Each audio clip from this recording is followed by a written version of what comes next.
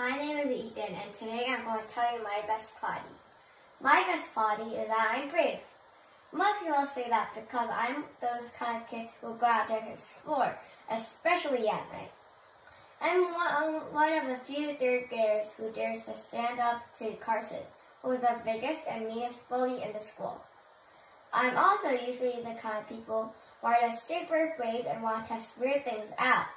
Like one time I saw this weird bug out my window, I was like, I don't care what's going to happen, I'm just going to pick it up.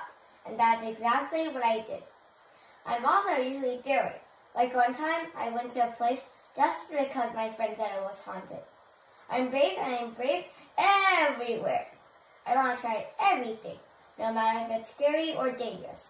Because I'm just those ones that are super brave and daring, and that is my best quality. Thank you for listening.